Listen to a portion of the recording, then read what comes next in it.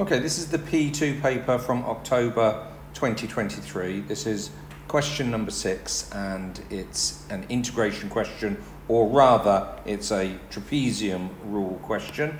Uh, give you time to just have a look at the diagram that we've got there, but basically, we're trying to find an estimate for this area. I normally say area under the curve.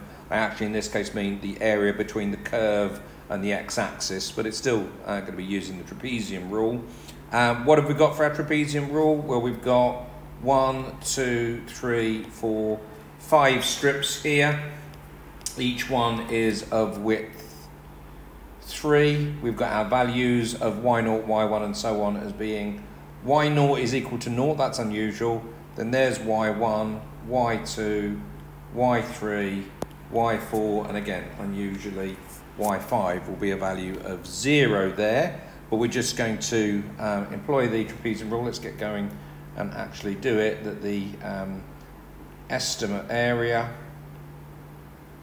or estimated area is going to be equal to d over 2 and then it's y0 plus y5 and it's two lots of everything else y1 plus y2 plus y3 plus y4 so if we do that, d is equal to 3, so it's 3 over 2. Those first and last values are both 0, and then it's two lots of everything else. So what was it? It was 1.52, it was 2.74, it was 3.12, and it was 3.08. So sticking all those values uh, into the calculator simply gives me an answer of 31.38 square meters in this case. Go back and just, just read the uh, question here. Um, and it said it wanted, um, use the trapezium rule to give, yeah, just to find an estimate. It didn't say about decimal places or significant figures, but that's part A done. It then says the water in the river is modelled as flowing at a constant speed of 1.5 metres per second across the whole cross section. Use the answer A to find the volume of water flowing through. So what we've got is that, um, and the, sorry, the volume flowing through each minute. Okay, so if I want to do that, I know that the volume is simply going to be, very straightforward, the volume is going to be that surface area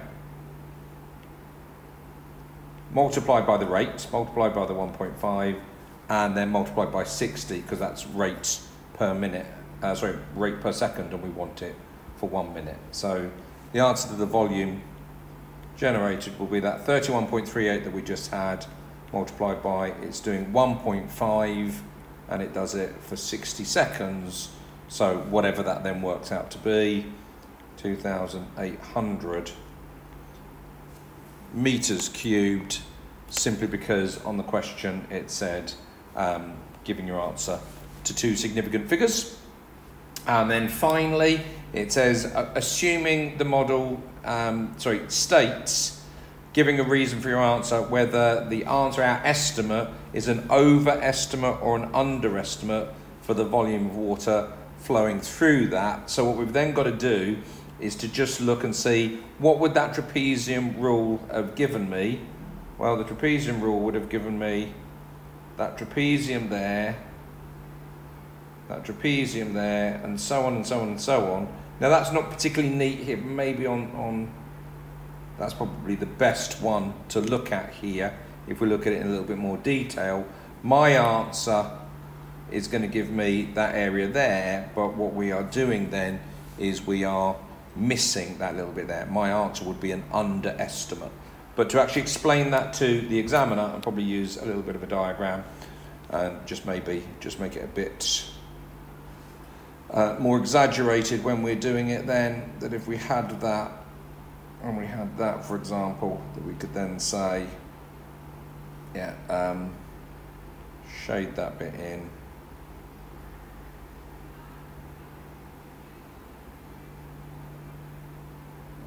just say um, the approximation is an underestimate. Underestimate. And you could maybe say I just pointed that there. But it's only worth one mark anyway, so it's really more explaining to you guys than uh, worrying about what the examiner's going to think about that one. So yeah, slightly unusual um, trapezium question, but still very straightforward, hopefully.